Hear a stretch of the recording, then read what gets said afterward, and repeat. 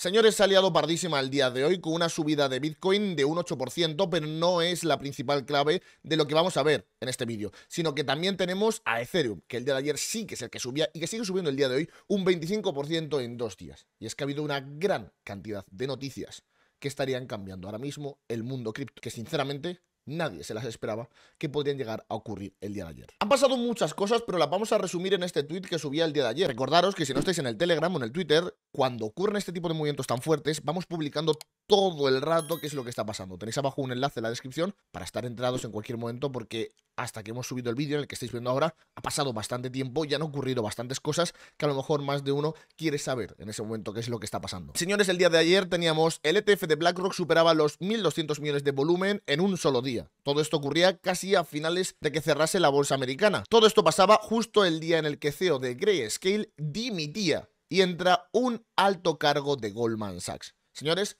la persona el CEO de Grayscale, que habría estado dando la orden de reducir su exposición y hacer que vendiesen bitcoins de su fondo, que ya sabéis que Grayscale ha estado vendiendo durante mucho tiempo, mucho bitcoins, ha dimitido y ha entrado un gran corporativo de Goldman Sachs, uno también de los bancos principales, que probablemente ahora vaya a haber alguna que otra alianza en ese aspecto. Y lo que hay que ver es si va a cambiar su manera de actuar y qué es lo que va a hacer con el ETF de Bitcoin. Porque recordar, ahora tenemos volúmenes récord por alguna razón del mundo y vamos a ver justo ahora a continuación, que no os vais a ningún lado, como todo este pedazo de PAM que hemos visto ha sido por el apartado de spot debido a Estados Unidos. Todos los flujos han sido por parte de Estados Unidos. Y es que la gracia de todo esto y por qué Ethereum está en el ojo de la mira ahora mismo es que se anuncia una alta probabilidad del ETF de Ethereum. Para que nos hagamos una idea, salía ayer un enunciado de Bloomberg, de analistas de Bloomberg, el cual hablaban de que la SEC estaría dando un giro 180 grados debido a las presiones que estarían viendo dentro de la institución. Recordar que ya han sido más de un congresista el que los habría denunciado por abuso de poder ante las criptomonedas y se habrían aceptado incluso a juicio. Ahora están viendo, oye, si al final hay que echar a los reguladores, Donald Trump avisa que si gana las elecciones echará al regulador Gary Gensler, que está ahora mismo regulando a las criptomonedas, porque claro, no le parece que está haciendo las cosas bien, y después de tantas, tantas presiones, ahora, de repente, cuando se estaban quejando tanto de que el ETF de Ethereum no era una security, no les gustaba, no les parecía bien que se llevase a cabo, mágicamente hablamos de que la probabilidad de una aprobación del spot de su ETF de Ethereum ha saltado de un 25% a un 75%. Estamos hablando de que hay un 75% de probabilidades, según los analistas de Bloomberg, de que tengamos el ETF de Ethereum aprobado en los próximos meses. Ahora empezamos, al igual que anteriormente con Bitcoin, la cuenta atrás de todas las veces que van a rechazar a Ethereum, el ETF, hasta esa fecha final, como hicieron con Bitcoin, que va a crear, obviamente, gran FOMO. Y es que, ¿cuál es el principal problema que tenía yo con las altcoins? Que os lo comentaba a vosotros por el canal. Toda la subida de Bitcoin es maravillosa y que Bitcoin siga subiendo va a ser maravilloso porque es el año de Bitcoin. Número uno, tenemos los ETFs de Bitcoin que queramos o no va a traer gran liquidez al mercado y que ya podemos ver que desde que salieron han estado creando liquidez en el mercado, han estado inyectando. Y aparte de todo eso, es el año del halving. Bitcoin tiene dos motivos súper importantes para una inyección de liquidez y una falta de oferta que hagan que el precio de Bitcoin suba. A nivel fundamental, Bitcoin tiene sentido que suba. Ahora, ¿cuál es el problema? Todas las altcoins que hemos estado viendo por el mercado, da igual cuál veamos, no tenían un motivo por el cual subir, salvo que Bitcoin estaba subiendo y subo por inercia. Ahora, eso está empezando a cambiar. Y es que Ethereum, en estos momentos, señores, ya tendría un motivo por detrás para estar subiendo. Y es que vamos a tener una aprobación con una alta probabilidad de su ETF de Ethereum, que en este caso va a hacer exactamente lo mismo que con Bitcoin, va a crear una gran inyección de liquidez que puede llegar a hacer que el precio de Ethereum suba. Y como estamos diciendo, una alta probabilidad de que inyecten liquidez. Ahora sí, podemos hablar de que Ethereum tiene motivos sólidos a nivel fundamentalista para subir, no como el resto de las altcoins, no como las memes, no como diferentes proyectos que salvo que los tengas muy bien investigados y sepas que va a pasar algo importante, no tenían un motivo más para subir que el hecho de que Bitcoin vaya a subir. En estos momentos la subida de Ethereum dejaba de los diferentes máximos bajistas que habría estado dejando toda la estructura de Ethereum. Como ya sabéis, poco a poco todos los máximos van siendo más bajistas Así es como se lleva una tendencia bajista. ¿Lo recordáis, no? Tenemos todos y cada uno de los máximos más bajistas y los mínimos cada vez más bajos. ¿Qué es lo que pasaba? Aquí empezamos a ver el principio de la rotación estructural de Ethereum. Y es que en los últimos días, señores, vemos como de repente los mínimos cada vez empiezan a ser más altos y a hacer esa formación de seta, podemos llamarla así, invertida, cóncava, como queréis decirlo, y el día de hoy ya se confirma el cambio estructural de Ethereum. ¿Por qué? Porque los mínimos cada vez son más altos y en este caso y con estas dos rupturas que están viendo por pantalla los máximos también cada vez van a ser más alcistas de cero. Vale, ahora vamos a ver qué es lo que ha pasado, tanto en Bitcoin como en Ethereum. Recordar que lo que pasa a Bitcoin es más o menos o prácticamente igual lo que le ha pasado a Ethereum, para que lo tengáis en cuenta y no tengamos que estar repitiendo qué es lo que ha provocado esta subida, porque no es el único que subía, sino que Bitcoin también habría tenido una diferente y nueva subida, ya dejándonos en más de un 16% en los últimos días. Y aquí la gracia y la importancia de todo lo que habría ocurrido hemos superado la caja amarilla que tenemos. En Bitcoin ya se habría superado y con ello esta caja amarilla que estamos viendo en la zona de los 67 mil dólares, a partir de ahora va a empezar a actuar como un soporte. Y con ello ya cada vez tenemos más confirmado. Y no hace falta ya más confirmaciones, mirarlo por pantalla como tenemos ahora ya sí que sí, máximos y mínimos cada vez más alcista. La estructura de Bitcoin continúa y continuará en una acumulación. Recordar que ya hace unas semanas que poníamos esta fase C, la fase C de una acumulación, que sería la fase final, en la cual, como se ve por pantalla, lo que se buscaría es atravesar el rango para quedarse en la parte alta para ya poder seguir subiendo. Esto es una acumulación, hemos cumplido prácticamente los pasos sin ningún tipo de problema, hemos hasta roto la zona de mínimos y habiendo rebotado en forma de V, Hemos ya atravesado la fase C, nos encontramos en estos momentos en la fase D de Bitcoin y como podéis ver, más o menos se le parece, porque recordar que eso es un ejemplo de libro, es un ejemplo que sale perfecto, que nunca tiene fallos, podemos decirlo así. Y en estos momentos ya hemos estado tonteando con esta parte baja que habíamos visto por Bitcoin, hemos conseguido romper por fin esta caja amarilla y ya estaría totalmente confirmado de que salvo que ocurra algo bastante malo, esto es una acumulación en Bitcoin. Vamos a ver el día de hoy qué es lo que ha pasado, qué ha provocado este movimiento. Porque por un lado tenemos el spot, que lo vamos a ver ahora, pero vamos a ir rápidamente con los futuros. El vídeo de ayer hablamos de que los futuros podrían llegar a dar un retroceso de la gente apalancada en largo. Un análisis erróneo por mi parte en este caso y como os comenté es muy complicado saber hacia qué lado va a ir el Open Interest. Es algo realmente difícil de saber. En estos momentos ya obviamente a toro pasado podemos saber hacia dónde ha ido y es que vemos como el precio sube y vemos como el Open Interest se habría desplomado. Estamos hablando de que parte de este movimiento alcista que hemos visto de Bitcoin habría sido una liquidación masiva de cortos. Como veis por pantalla, 15.000 contratos, nada más y nada menos, a un precio de 70.000 dólares de media en Bitcoin. Hemos tenido una liquidación de cortos de más de mil millones de dólares. El movimiento volátil debido al Open Interest iba a ocurrir, tarde o temprano. Otra cosa es saber hacia dónde se va a mover. Eso es más complicado, pero para la próxima vez vamos a tener algo en cuenta, y es el funding rate. Señores, durante todos los anteriores días hemos tenido diferentes funding rate negativos. Como ya sabéis y he explicado más de una vez en el canal, el funding rate es la discrepancia entre futuros y spot, que nos dice o nos cuenta un poquito la historia de si están los futuros alcistas o están los futuros bajistas en comparación del spot. Ese dato es importante.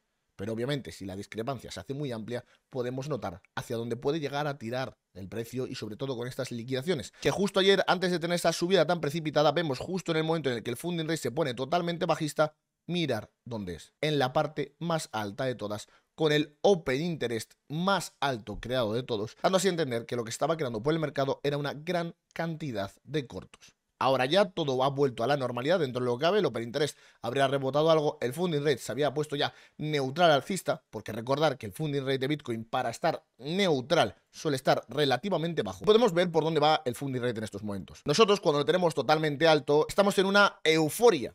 El precio probablemente va a retroceder a partir de esa zona. Recordar, cuando subíamos a la zona de máximos, esos 70.000, 74.000 dólares mirar lo que pasaba con el funding rate. Teníamos funding rates que casi llegaban al 0,1%. A ver, no casi, pero llevábamos a la zona de 0,06%, que es una zona de absoluto FOMO. Estaríamos pagando más de un 100% de comisiones al año por mantener tu largo en Bitcoin. ¿Y qué es lo que ha pasado? Esto era el FOMO.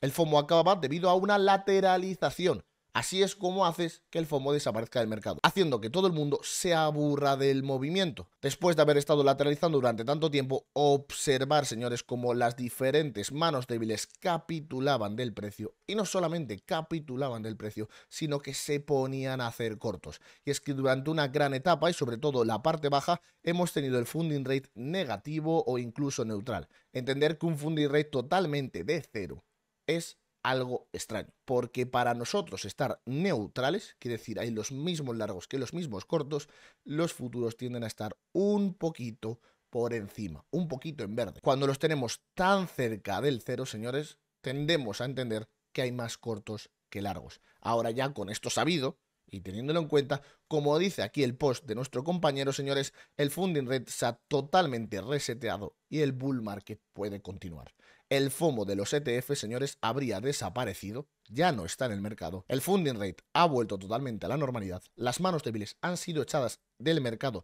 después de una caída de un 25% desde máximos, que tampoco ha sido tanta, y ahora nos queda el siguiente FOMO que va a venir en el mercado, el FOMO del halving de Bitcoin. Vale, todo esto que hemos hablado es desde el apartado de futuros. Hemos tenido una liquidación masiva, y por el otro lado, el funding rate ya vuelve a la normalidad después de haber estado tan bajista. En gráfico diario de Bitcoin, seguimos dentro de una acumulación y seguimos en la acumulación y hablábamos por el canal desde que tuvimos este movimiento nube, este reingreso, esta, esta vuelta al rango tan efectiva que teníamos. Si os acordáis por el canal, hablábamos de lo importante que era comprar en la zona de los 57, 58 mil dólares por todas las confluencias que teníamos, todos los gráficos y los holders de corto plazo se quedaban en esta zona en diario tan importante y después de haber visto el movimiento nube como tenemos por pantalla, ya empezábamos a considerar la acumulación. Ahora ya no hay ningún tipo de dudas, hemos hecho el cambio estructural, ya tenemos los máximos cada vez más alcistas, los mínimos cada vez más alcistas y por si fuera poco, hemos roto la caja amarilla que tenemos por pantalla. Toca ver qué es lo que ha pasado en esta vela que tenemos por pantalla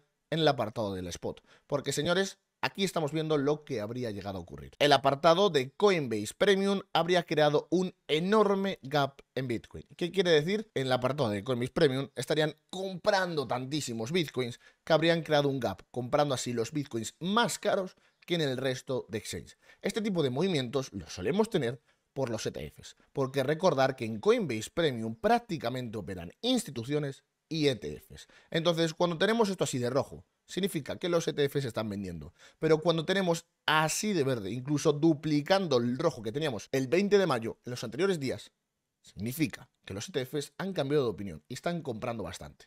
Algo ha tenido que pasar para que después de dimitir el CEO de Grayscale haya ocurrido esto en el mercado. ¿Por qué? Con la dimisión del CEO de Grayscale los ETFs de Bitcoin han decidido que es un momento absolutamente increíble para empezar a comprar a saco. Y es que esa no es la única prueba que tenemos. El indicador que solemos traer por el canal, en el cual se muestra un mapa de calor y se muestran los deltas de spot viendo cómo se están comportando los diferentes tipos de órdenes. ¿Y qué es lo que vemos, señores? Que en esta última subida, ver la línea roja, como rápidamente subía.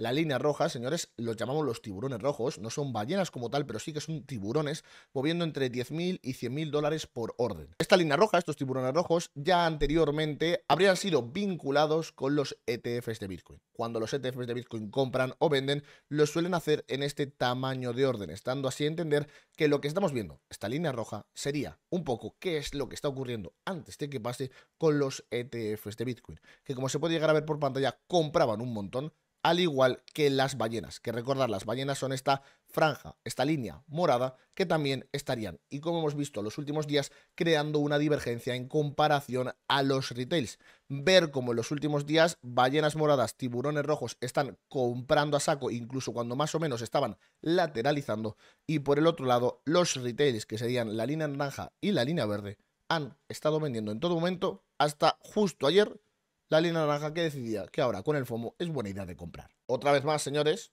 cuando tenemos una divergencia entre ballenas y retails, los que han vuelto a ganar, los que han vuelto a tener la razón y hacia dónde ha ido el precio, han vuelto a ser las ballenas. ¿Cuál es la conclusión que tenemos? En el día de ayer teníamos dos entidades que principalmente movían el mercado. Uno, los futuros liquidados, los cortos que habrían sido liquidados y que habrían hecho que el precio subiese. Y número dos, los ETFs han comprado absurdas barbaridades de Bitcoin. Estamos teniendo de que las ballenas han provocado este movimiento en el apartado del spot. Recordar, las ballenas son las que han comprado, mientras que los retails estaban vendiendo el precio. Mientras esto siga siendo así y tengamos esa divergencia entre retails y ballenas, señores, todos los movimientos que veamos de Bitcoin van a ser muy válidos y sobre todo van a tener mucha fuerza. Ahora y así que sí, la acumulación de Bitcoin cada vez coge más adeptos, cada vez coge más claridad de que el movimiento puede llegar a pasar. ¿Qué es lo que necesitamos ahora, señores? Que el precio de Bitcoin se quede por una parte alta lateralizando. Sobre todo sería bueno que se quedase por la parte de estas dos líneas, señores. Si se queda por esta lateralización por aquí dando vueltas, nos intentaría culminar el último movimiento de una acumulación, que como podéis llegar a ver por pantalla, señores, sería lo que se le llama como SOS, que simplemente es estar en la parte alta dando vueltas justo antes de meter el pepinazo para salir volando mucho más arriba. Todo esto lo podemos ver dentro del otro gráfico que teníamos, que en vez de estar viendo Bitcoin totalmente horizontal, lo veíamos un poco de lado. Y aquí ya podemos ver cómo estamos tonteando con esa última parte alta. Con esto visto, vamos a darle algo de protagonismo a Ethereum porque ahora mismo, señores, está subiendo otro 4% y lo que habría pasado es que la gente vuelve a entrar en FOMO. Mucho cuidado, obviamente, con la especulación, pero recordad lo que pasaba con el ETF de Bitcoin. Después de que saliese el ETF de Bitcoin teníamos una caída, pero posteriormente se inyectaba tanto dinero que el precio lo único que hacía era subir. Habrá que ver si con Ethereum tiene la misma fama y acaba subiendo exactamente igual que como ha hecho por el otro lado con Bitcoin. Ahora mismo tenemos con la noticia una subida de un 25% y por fin y por primera vez ahora tiene sentido que, que otro activo, aparte de Bitcoin, acabe subiendo. El análisis que tenemos ahora mismo por pantalla, señores, es que hemos por primera vez roto esta tendencia bajista y estamos haciendo un máximo más alto que los anteriores. Ahora, al igual que con Bitcoin, vamos a poner nuestra maravillosa cajita amarilla, que sería el área de valor importante donde principalmente se ha estado moviendo Ethereum, que como antes ha servido como una resistencia, ahora puede llegar a servir como un soporte en la zona de los 3000 500 dólares para. Hace ya tiempo que yo compré en el apartado de spot y esto que estáis viendo por pantalla simplemente es la operativa en futuros en por uno.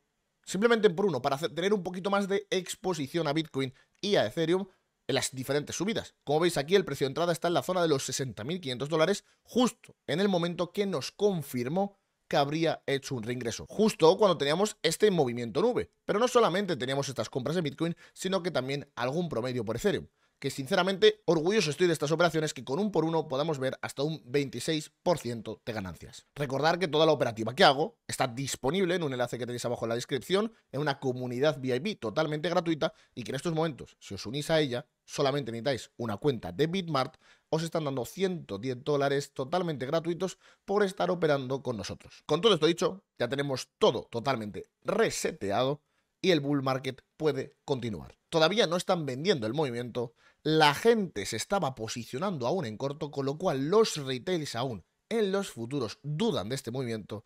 Eso solamente nos dice que aún hay margen para seguir subiendo. Y como estamos viendo por pantalla, gráfico diario tiene una pintaza a una acumulación. Espero que os haya gustado el vídeo y como siempre nos vemos en la próxima. Cualquier duda me la ponéis por los comentarios. Hasta la próxima.